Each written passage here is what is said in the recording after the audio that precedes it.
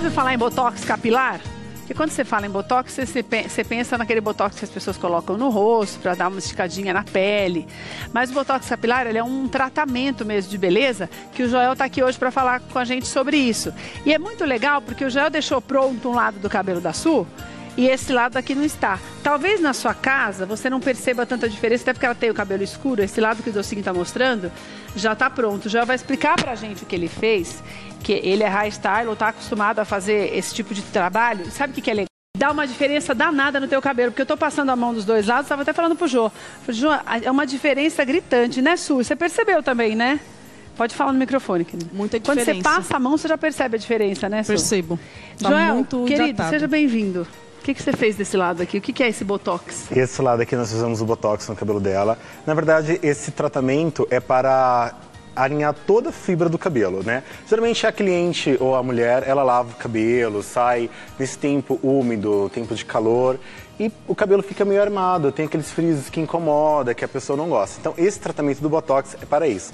Para Mas ele serve só para cabelo liso ou cabelo crespo não, também pode? todo tipo de cabelo, cacheado, ondulado, crespo, fino, Mas daí, se a pessoa tem o cabelo cacheado, mas não quer alisar, dá para fazer o Botox e deixar natural? justamente isso, porque o Botox, ele não tira os cachos. Ele não é um alisamento, não, não. né? Não, ele não tem nada a ver com relaxamento ou progressiva. O Botox é um tratamento para reestruturar toda a fibra do cabelo, como foi feito desse desse lado aqui da. Pra não ficar aquele Suzy. ar quebrado, né, Jô? Isso. E tira esse frizz do cabelo, né? Aquela coisa arrepiada que você não gosta. Então você lavou o cabelo, secou, ele já tá aqui bonito, hidratado e Brilhante todo o demais. brilho do cabelo. Olha o brilho que dá quando a gente mexe nele. É bem bacana. Ah, você que está em casa agora você está conseguindo ver que pela tela aqui, pela nossa, no nosso monitor eu já consigo te mostrar. Tá vendo como brilha o cabelo dela?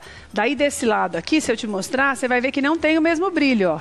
Tem uma coisinha, de, mas é diferente, ele, fica, ele tá mais, mais zoadinho desse lado. Isso. E esse é o cabelo dela natural, tá? Nós só lavamos normal, ela lavou de manhã o cabelo. Tá. E ficou aí. Esse é o cabelo quando ela sai ao tempo, como as mulheres em casa acostumam sair. Esse lado é o cabelo já tratado, né, já com botox, tudo. Ele fica desse jeito após jo, o tratamento. Como é que, que você vai usar para fazer esse tratamento? Então, eu vou usar o botox, ele tá aqui, né? Você pode ver, ele é um bem concentrado. Geralmente tem para loira, tem para morena e cada um usa de uma cor. As loiras geralmente usam para matizar o cabelo, para não ficar amarelado, aquela cor indesejada. Tá. Então ele tem um tonalizante dentro do botox para não ficar amarelado. Para ficar uma, forma, uma cor mais uniforme, uniforme, mais natural. Fica bonita e os resultados são igual ao, a isso aqui natural que eu vou usar no cabelo da Suzy tá. desse lado de cá. Lembrando a você que você pode ter o cabelo cacheado, bem crespo, que não vai alisar o teu cabelo. Esse não é um processo de alisamento e nem de relaxamento, como o Joel já te falou. Esse é um processo para você ter o seu cabelo melhor, mais bonito, sem aquele frizz, sem ficar todo arrepiado. Porque normalmente você está com o cabelo quebradinho, fica arrepiado demais. E quem tem o cabelo crespo, por causa do cabelo ser mais seco, mais ainda. Então isso é só para hidratar o teu cabelo e deixar, e deixar de ser um cabelo rebelde, né, Sim, né, Jô? É um tratamento, é na isso. verdade. Reconstrói toda a fibra do cabelo. Né? Você tem o cabelo ondulado, não se preocupe que não vai perder as ondas. Não, não. Aí o legal seria a a mulher ir ao cabeleireiro de confiança. É, lógico né? que isso, isso, que nós estamos falando é para você fazer Sim. no cabeleireiro, nada de fazer em casa. E no cabeleireiro de confiança. Você vai fazer desse lado, né, Ju? Desse lado de cá. Vem pro lado de cá. E o profissional vai indicar para você qual o melhor método que você vai fazer na, no seu cabelo. Tá. Né? A gente vai Ô, Jô, quem já tem, você pode fazer, eu já vou te perguntando tudo. Sim. Quem já tem progressiva, essas coisas todas, pode fazer também? Pode, sim. Acho que é até bom, né, para dar uma hidratada, sim, né? Sim, só não pode fazer na mesma semana, né? Tá. Porque, na verdade, é um tratamento, né? Então, você fez a progressiva, o cabelo já recebeu um choque de química ali bem grande, né? Então, é bom vocês aguardar um pouco, depois de uma semana, e fazer Isso daqui o... é o que você usa, né? Isso, esse é o que eu uso. Mas tá vendo? É mais um... um é um, um, um hidratante, um creme Sim. potente, né? Que tá aqui, você vê, ó. Ele. Cabelos, cabelos não... hidratados e sem frizz. A base de macadâmia, de óleo de coco.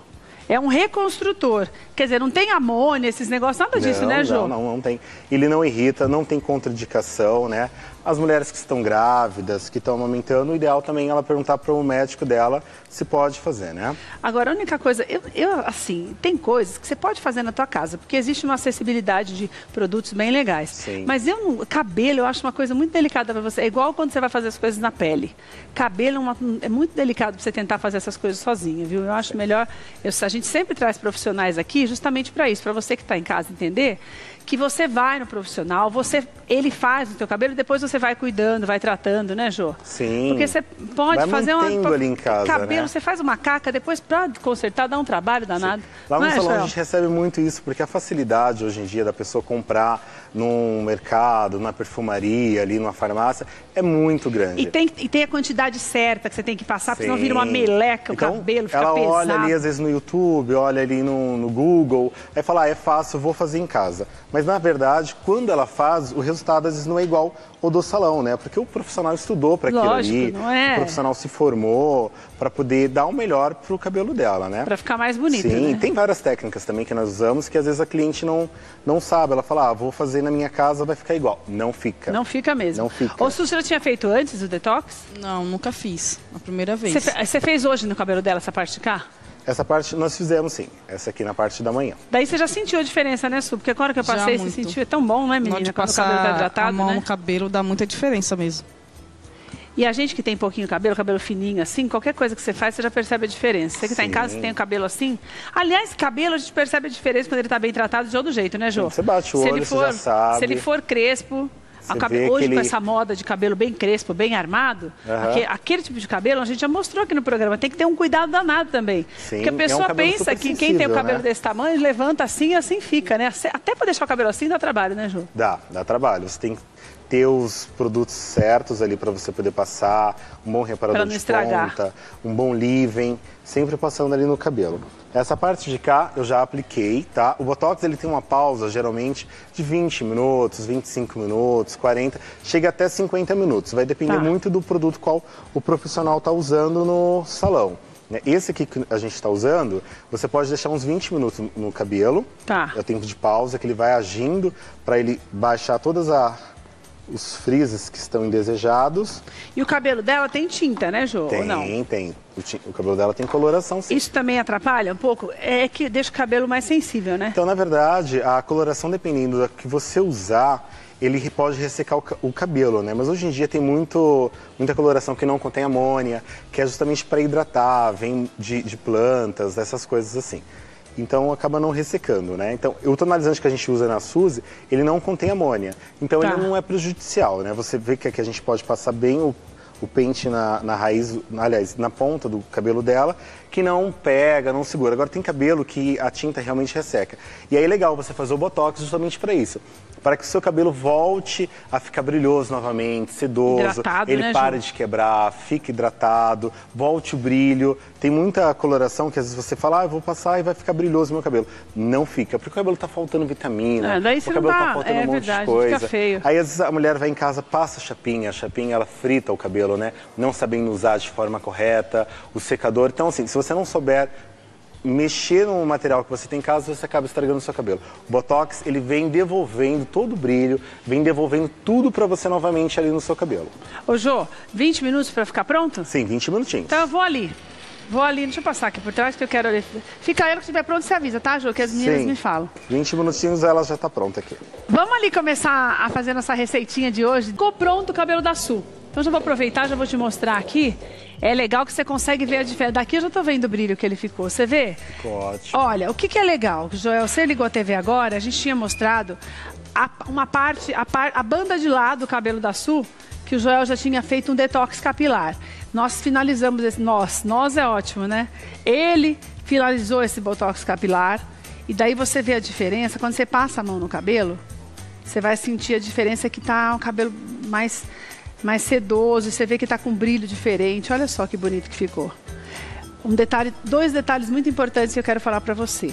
Busque um profissional para você fazer esse tipo de procedimento. Ah, Keila, mas é só passar um creme desde a raiz, eu vi ele fazendo. Existe a quantidade certa de creme para você passar, existe o creme que, que, que é ideal para o teu cabelo. Quando você vai no salão, pode ver que tem uma prateleira lá que tem creme a perder de vista, porque cada um é para um tipo de cabelo. Então você tem que ter um profissional para saber qual é o creme ideal para o teu cabelo, para saber o tempo que deve ficar, no caso do seu cabelo especificamente. E outra coisa, o botox capilar não alisa o teu cabelo. Seu cabelo é crespo, ele vai continuar crespo, porém saudável. Seu cabelo já é liso, não vai ficar mais liso por isso. Não é uma escova definitiva, né, Joel? Isso é importante. Isso mesmo. Ele só vai devolver o brilho do cabelo, como nós estamos vendo aqui, né, foi feito o processo. Ele vai abaixar todo aquele frizz que fica, aqueles arrepiadinhos indesejados. E você vai ter um cabelo super bonito, saudável, sedoso, como a gente está passando aqui. Você passa o dedo, ele entre os cabelos e ele não segura, ele não prende na ponta como estava antes da gente fazer todo o processo. Ele fica super bacana, brilhoso, sedoso. E aquilo que você falou, o importante é a cliente, a mulher, buscar um profissional para fazer, indicar o melhor tratamento, indicar quanto tempo vai ficar o produto no cabelo, fazer todo o processo num salão, né? E deixa eu te falar uma coisa, quanto tempo dura? Eu tenho que fazer de quanto em quanto tempo esse procedimento? Você pode fazer uma vez por mês, você pode fazer é em cada dois meses. É, vai depender muito do seu cuidado em casa. Se tá. ela lava todos os dias, se ela vai muito para praia, se ela vai para piscina, vai depender do, da manutenção em casa. Mas geralmente um mês e meio a dois meses, você pode fazer o seu botox no salão com um profissional sem nenhum problema. Vou gastar muito? Uma média, mais ou uma menos? Uma média de uns 120 reais a 150, 180, 200, 400. Aí vai depender do tamanho do cabelo da E do tanto de mulher, cabelo sim. também, né? Você tem aquele cabelão armado que tá usando sim. agora, vai dar mais trabalho, você ficar umas 3 horas lá.